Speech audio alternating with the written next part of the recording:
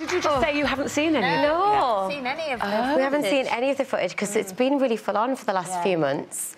Um, so they haven't got the time to show us footage and okay it. No, so it's, just crazy. So the build-up is, is taking quite a long time. So that, then the nerves start to kick in even more, I suppose, because the length of time you've yes. got to prepare. Yeah, so we've had a, a, lengthy, you know, lead up to the performance on Wednesday night, which is going to be shown on Thursday night. Um, so yeah, we've, we've kind of got a lot of nerves, but then it's crept so quickly. I said no. And then I spoke to my husband, Hugh, and he said, you're crazy. You're trying to tell all these women out there, you know, to be confident and who may be going through the same thing as you. If you can't do it and you've got, you know, confidence, then they can't be confident in their body and their scars. So I was like, okay, fine. And then mm. Coleen rang me and persuaded me even more. She's very I persuasive. She's it, very persuasive. If I'm yeah. doing it, you're doing it. Yeah. End of. Hung um, up on her. That was it. That was it. Hung up.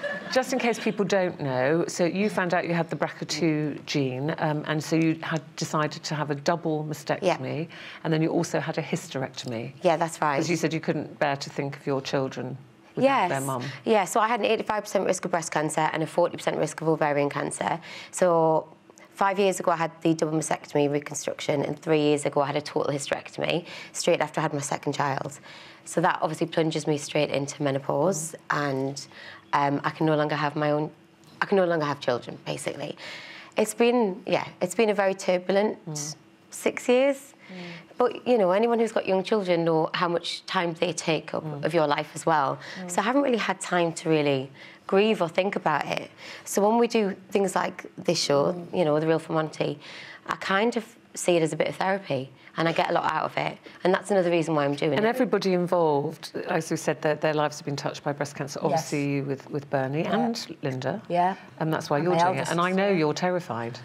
Oh, I've loved every minute. I mean, we really genuinely, I know it sounds a bit showbiz, but we all have genuinely bonded. Yeah. I think because of what we're doing it for and the fact that we all have our own personal reasons mm. as well for doing it.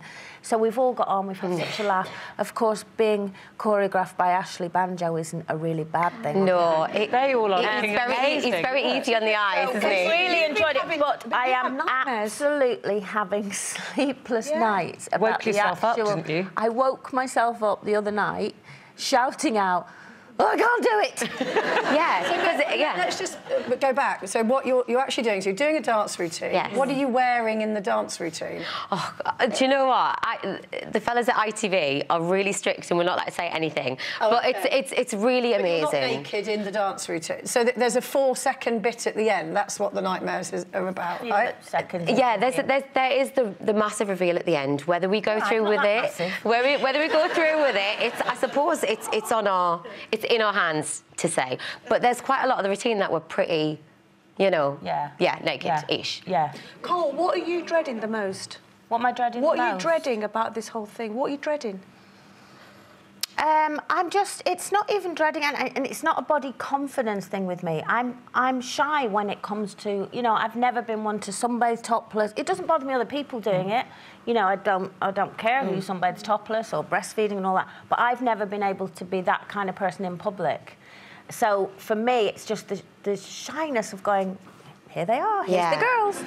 Um, here's the twins. but I must say, I have seen them and I and I put makeup all over your she boobies. Put makeup and, and her boobies are amazing. Honestly, I had the best time ever doing that. ask you really quickly, because what you said earlier about it's been six years of hell and everything that you've gone through is, is so massive. Have yeah. you had counselling at all for any of that? I did have initially when I found out I was BRCA positive, and then I, You've me, me being me, no, me being me said, I don't need it. Thought I could just get on with it. Well, listen, talking about confidence, we're going to. I'm sorry to interrupt right. you, just because I've got a little surprise for you. Coleen knows who's here. Uh, we've got the Speakmans who want to come and see if they can help you. Okay. You're going to. You're going to actually include all of us in this, aren't you? About how you talk to yourself and imagine yourself, people, other people saying nice things about yes, you. We, we want everyone to get involved.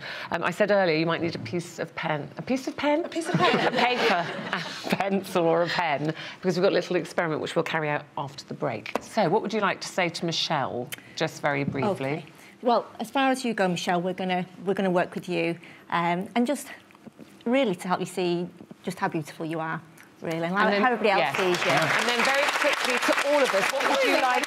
What do you want us to do? We've got we only got about 30 seconds. So what do you want us to do over this break and people at home for the confidence? Okay, well, the thing is, low self-esteem, um, it's usually down to a fear of being judged. Like I say, low self-esteem is a big thing about confidence. If you've never done something before, that's really fearful as well. And, and a big one is comparing yourself to others. One thing that's really important is when we look in the mirror, we look for imperfections and we look through the eyes of criticism. We want you to consider looking through the eyes of love. So we want you to ask your partner, your children, your friends what they see when they look at you. Make, th- make that list and then stick it on the mirror where you clean Right, your well, we're going to do that list. We're going to do that list. You're going to take Michelle off and do some of your fantastic Okay. work with her. Thank you. Thank you. So remember, things that things that your friends or your partners, your family say to you that you don't always believe yourself. Try and write those down, and we'll talk about it a bit later.